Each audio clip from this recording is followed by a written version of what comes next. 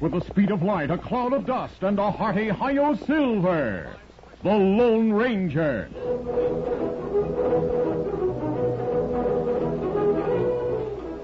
Before this exciting adventure, a word from our sponsor. General Mills, makers of Cheerios, the ready-to-eat oat cereal that gives you go power, and Wheaties, the breakfast of champions, present by special recording, The Lone Ranger. All over the country in every direction. How you, how you doing is the question. And here's what the happy, happy people have to say. Eating our Wheaties and do, do, doing okay. Okay. And that's the truth. Take California champions, for instance. Now, way out west, you'll hear us talking about a quarterback we call Van Brocklin. A passing star with Wheaties style who throws that ball a country mile. And Duke Snider, too, is a West Coast man, a fancy slugger, and a Wheaties fan who takes his bat and scares them all when he knocks the hide right off the ball. Now, these two champions know that there's big energy in their favorite cereal because there's a whole kernel of wheat in every Wheaties flake. Wheaties, breakfast of champions. Keep on eating your Wheaties and you'll be do, do, doing okay. Okay.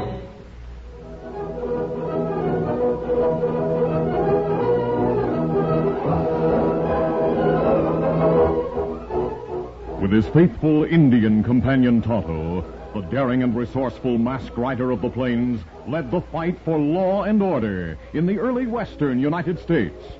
Nowhere in the pages of history can one find a greater champion of justice. Return with us now to those thrilling days of yesteryear.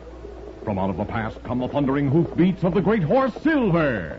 The Lone Ranger rides again. Come on, Silver. Let's go, big fellow. Hi-Yo Silver. Away!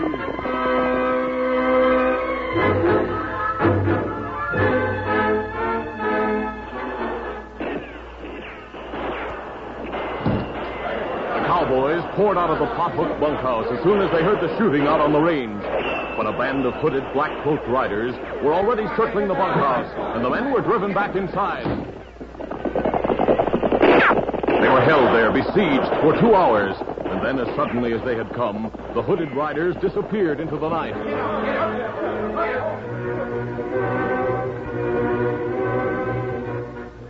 Hank Greenway, who had bought the pothook only a month before, had made his money in land speculation and his reputation as a politician. He was in San Felipe on the night of the raid and rode out to the ranch the next morning. Oh, oh there, oh boy, oh. He found his foreman and his nearest neighbor, Jake Webb of the Lazy W, studying the ground in front of the ranch house. Howdy, boss. Morning, Evans. Morning, Webb. Howdy. I guess you've heard. Yes, I've heard. How many head we lose? Only 50, boss. Shorty's Pinto was shot, and he got a bullet in his shoulder. You were lucky, Hank. Lucky. Why didn't you trail the rustlers, Jim? Well, they had a big start on us, boss. We lost the trail in the hills. How long has this sort of thing been going on here? We haven't been troubled with rustlers for a long time. But it may be more than rustlers we have to contend with. How do you figure that? Look here. Look what one of them scratched on the ground. Hmm. Just a lot of lines. It's supposed to be a spider's web. There's a T in the middle. It stands for the tarantula. Who says it does? Why, you must have heard of the tarantula, boss. I know he's been accused of every unsolved crime in the territory, but personally, I don't believe there is such a person. Boss, it's what I mean is he can't be to blame for everything he's accused of. But this raid last night, there were 30 men that was well organized. A spider's web. Hmm. Your name is Webb, Jake. You're not accusing me No, of... no, no. I have a better idea. Those black cloaks and the hoods. That's the kind of a fancy rigmarole that would appeal to foreigners. Foreigners? There are no foreigners around here. What about Don Rodrigo, Salvado, Martinez? They're American citizens. Their fathers swore allegiance. And Congress was stupid enough to recognize their old Spanish grants and let them keep their land. But they never liked their ranchos being cut down to the original size. Once they owned this whole valley, they'd like nothing better than to get it back. The more I think of it, the more likely it seems. Rodrigo, Salvado, Martinez. They could get together, dress their men up in black cloaks and hoods, leave the sign of the tarantula behind them so they wouldn't be suspected, and then go on to rob us blind. strip us of our cattle so we'd have to sell out to them for a dime on the dollar. You've only lost 50 head so far. Well, we'll see what happens from now on. You'll see that I'm right. Events seemed to fulfill Greenway's prophecy. There were more raids. The next attack was on the Lazy W by the same black robed men. A hundred head were driven off. Then came raids on the Circle A, the Arrow, and the Diamond T. And wherever Greenway went in San Felipe, he voiced his accusation. Don Rodrigo, Salvado, Martinez. They haven't lost a head. But there's always the sign of the tarantula, Mr. Greenway. All right, go ahead. Believe in your phony bad man if you want to. I'm getting in touch with Washington. I'm going to the capital myself. I'm going to demand that those old land grants be canceled.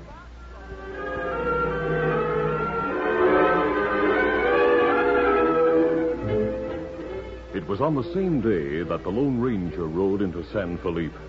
He wore trail clothes, a stained deerskin jacket, and his face was covered by a heavy growth of black beard. With Tonto's help, he had assumed the appearance of a man called Tex Rafferty. The Lone Ranger was offering himself as a target in order to learn the tarantula's real identity. As he rode down the main street of San Felipe, his hat was pulled down over his eyes. His shoulders were hunched, and he slumped in the saddle. A big man who seemed to be trying to make himself as small as possible. Oh. Oh, easy. Steady, big fella. But he dismounted in front of one of the busiest cafes and entered the place. He had to force his way to the bar. Pardon me, please. Thank you. Pardon me. Well, what'll it be, stranger? I'd like some information.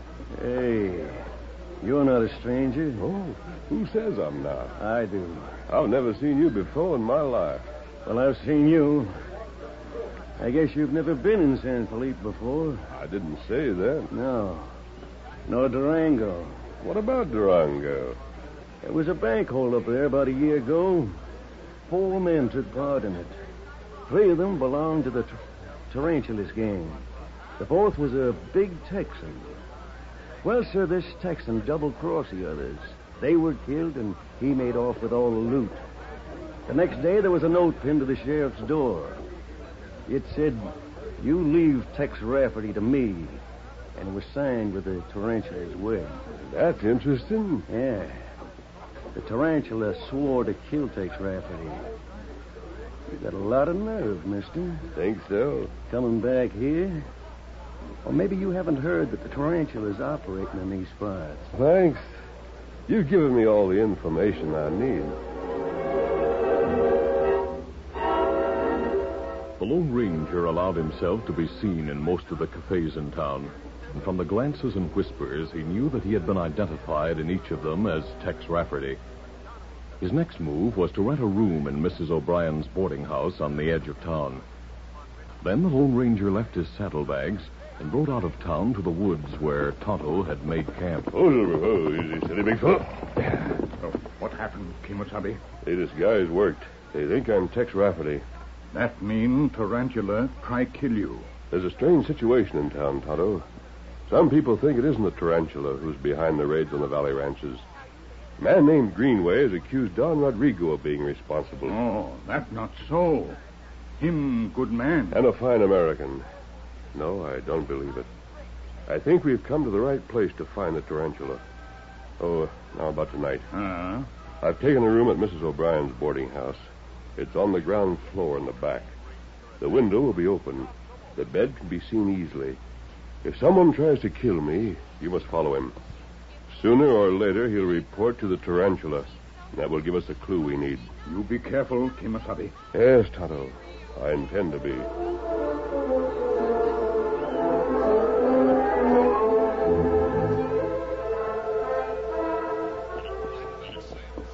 The sky was clouded that night.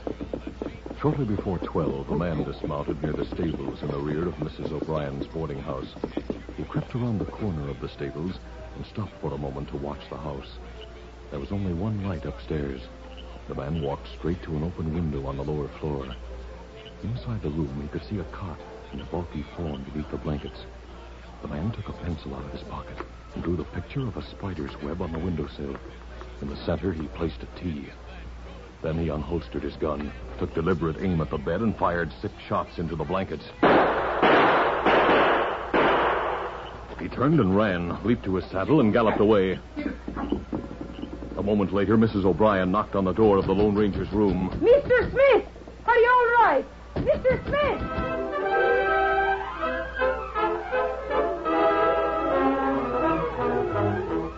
We'll continue our Lone Ranger adventure in just a moment. Jimmy is eight years old. He is strong and he is bold. He can capture outlaws cause he knows he's got go power from Cheerios. Yes, he's got go power. There he goes. He's feeling his Cheerios. Cheerios. Cheerios. That's Cheerios, all right. The nourishing oat cereal that's shaped like little letter O's. The ready to eat cereal with a wonderful toasted oat flavor. What's more, every delicious spoonful of Cheerios and milk is real muscle building food. That's right. Each spoonful contains vitamins, minerals, and proteins your body needs. And these good things in a Cheerios breakfast do good things for your body. Help you have healthy nerves, good red blood, strong bones, and muscles. Yes, Cheerios is made to give you real go power. So try Cheerios, the famous oat cereal that needs no cooking. And soon you'll hear people say, He's feeling his Cheerios.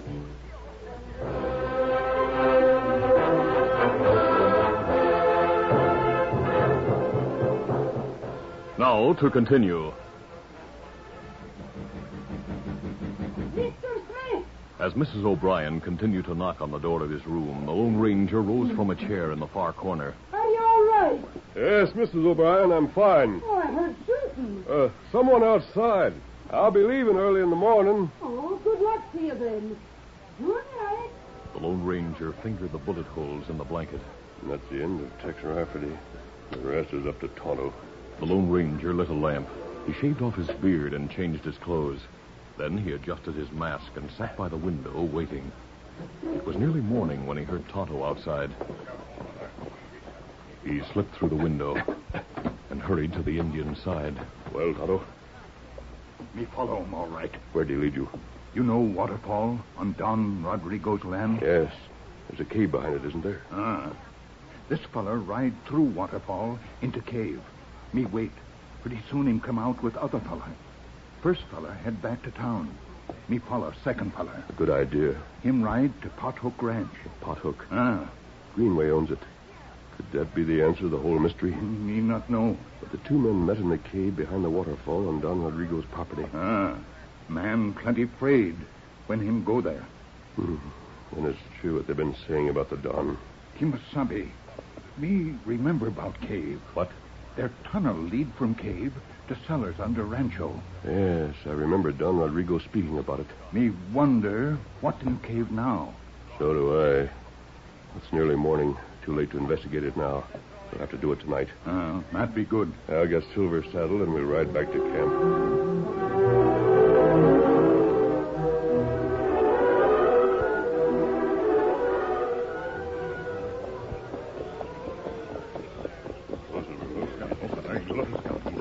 There was a patch of heavy woods between the waterfall and Don Rodrigo's rancho. It was there the Lone Ranger and Tonto left Silver and Scout the following night.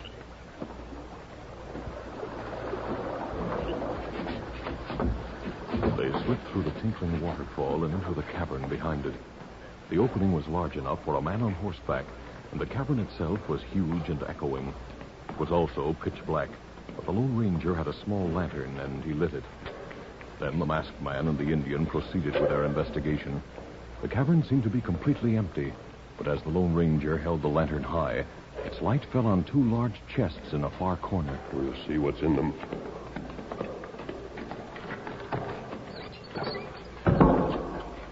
Look.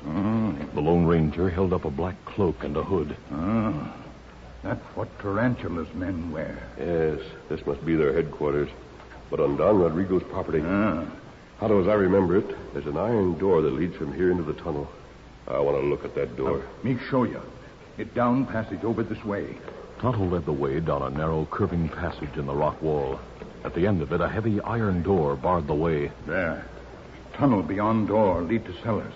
But this door hasn't been open in years. That's right. That's all I wanted to know. Now we'll go to the Don and. Kimasabi, put out lantern. Men, horses, come into cave. Quickly, the masked man blew out the lantern. He and Tonto waited in the dark passage as more and more men and horses entered the cavern. Finally, they heard a voice raised above the others. Men, I don't want any slip-ups tonight. That's Greenway. I was standing next to him in the cafe yesterday. Him, Tarantula. All the evidence points that way. He must be. This will be our last job. You know, we'll go after the pothooks tonight. Why pick on your own spread, boss? Because it's the smart thing to do. Shoot up the bunkhouse, drive off a few head of cattle. You don't have to do much damage. After you come back here and get rid of your cloaks and hood. I'll ride into town and get the sheriff. My story will be that I followed you to your hideout. I'll show him the cloaks, point out that this is Don Rodrigo's property, demand that he arrest the old man. He'll have to. That's all I'll need to pull over my deal with Congress. That means you'll be going straight, boss? Only long enough to grab this land. Don't worry, we'll be opening a few more banks before long. All right, let's go.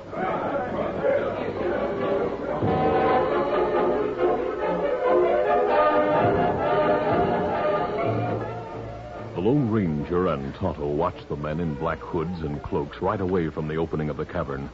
Then they returned to Silver and Scout. Look, Tonto. There's high rocky ground on the far side of the waterfall. There are the woods on this side.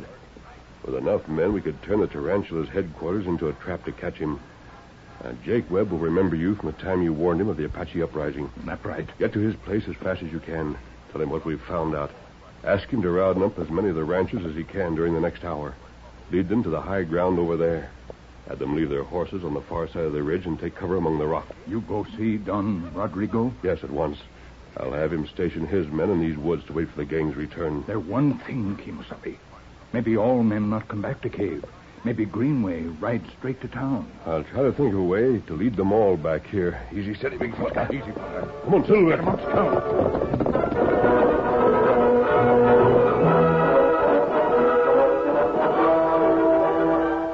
guards at the gate of the Rodrigo Rancho, and their guns were drawn as the Lone Ranger rode up. But they were old servants of the Don and recognized the masked man. They summoned the ranchero.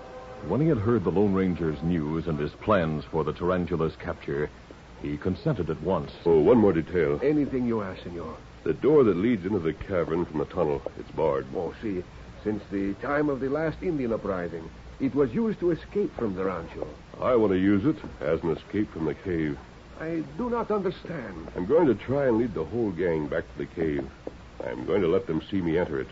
I'm quite sure they'll come after me. Oh, and you will leave by the tunnel. And bar the door after me. Then your men and the ranchers can seal the opening of the cave with gunfire. Oh, see, the tarantula will be caught in his own web. Let's hope it works out that way. Well, adios. Vaya con Dios. Easy, steady, big fella. Come on, Silver.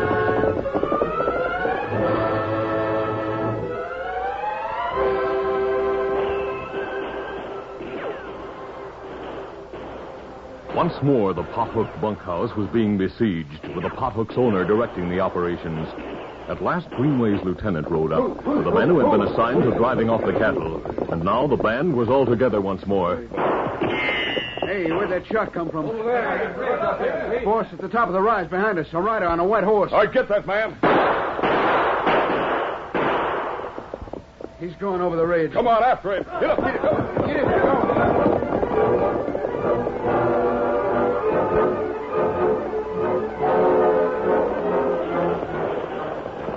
The Lone Ranger looked back at the outlaw gang as they swept over the rise after him. He judged Silver's pace so as to keep just out of gun range, and he headed straight for Don Rodrigo's property. Come on, Silver.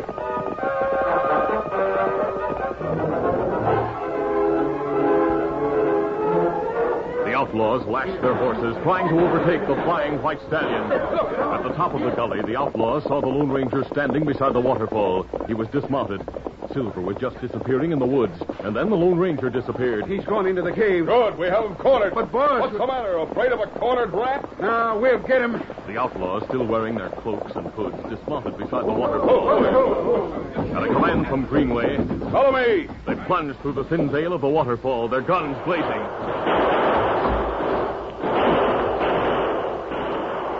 They searched the walls and the floors of the cavern with their bullets until Greenway called a halt. That's enough.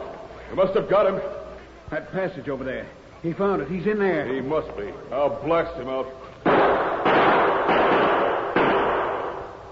Now we'll see. There's no one here.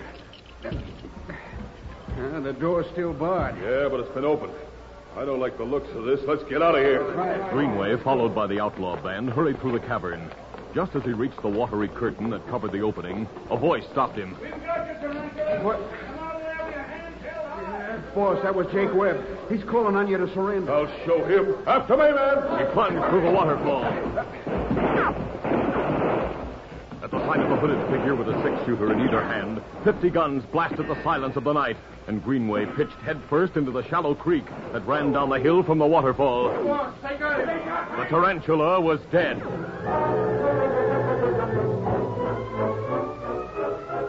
Their leader dead, the outlaws had no desire to brave the deadly hail of bullets that was sure to greet them if they tried to escape. They obeyed when Jake Webb ordered them to come out with their hands up. Their hands were tied behind their backs, and they were mounted on their horses. The ranchers and Don Rodrigo's men formed a solid guard around them as they headed for town. The Tarantula's lieutenant rode between Jake Webb, who led his horse, and Don Rodrigo. Don Rodrigo, See, Senor Evans? it's a good thing there's someone like the masked man around to make us realize the truth. That it isn't the way a man talks that makes him a good American. It's the way he acts. Uh, masked man you're talking about. Did that rider we followed, the one on the white horse, did he wear a mask? Yes, he did. Then he must have been. That's right. He was the Lone Ranger.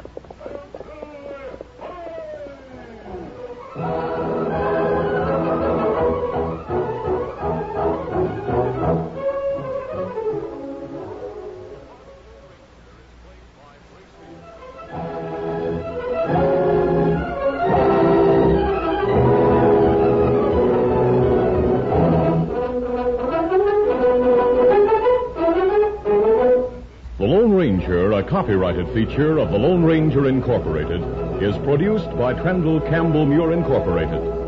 The part of the Lone Ranger is played by Brace Beemer. Your announcer, Fred Foy.